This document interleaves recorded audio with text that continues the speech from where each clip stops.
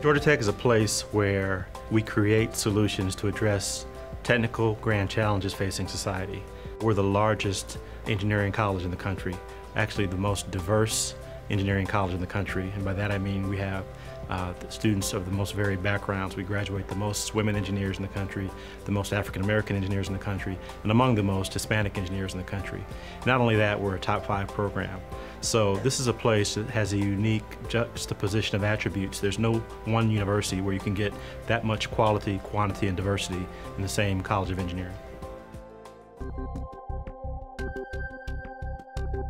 all throughout Georgia Tech, we have a strong emphasis on providing the faculty and students with the tools they need to really to compete not just with some of the best universities in the world, but really we're competing with some of the best industry labs across the world.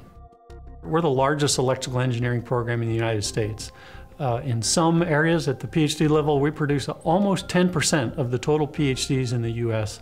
in electrical engineering. So from that standpoint, we have a huge impact uh, on the nation's research. To know that the, what I'm doing actually means something and is actually applicable to something later in life is, is vital. Like uh, so far, I've worked at IBM, Raytheon, Scientific Research Corporation, Sybase, who all were coming to Georgia Tech looking for Georgia Tech students. And I took what I'd learned in the classroom and applied it in each one of those different places in various capacities.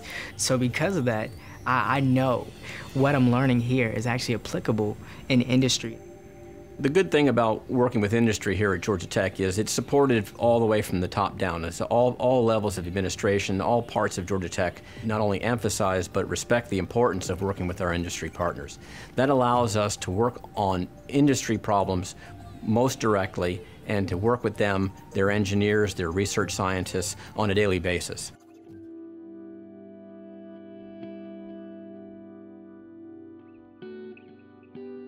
If you're among the best institutions in the world, you want to be working with the best software in the world. And why would you look anywhere beyond Agilent Technologies?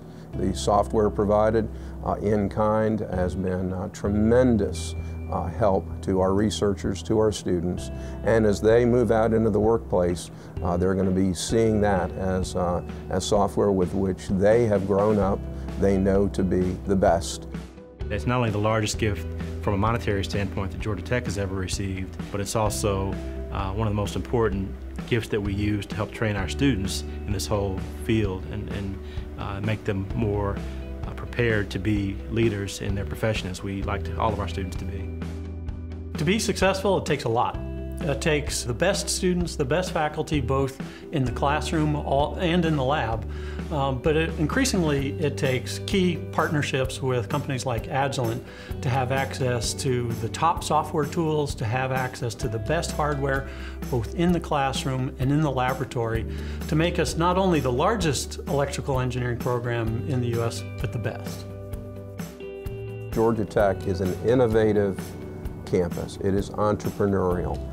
It, as the largest producer of engineers in America, the partnership between Agilent Technologies uh, sets the bar for other companies to look at.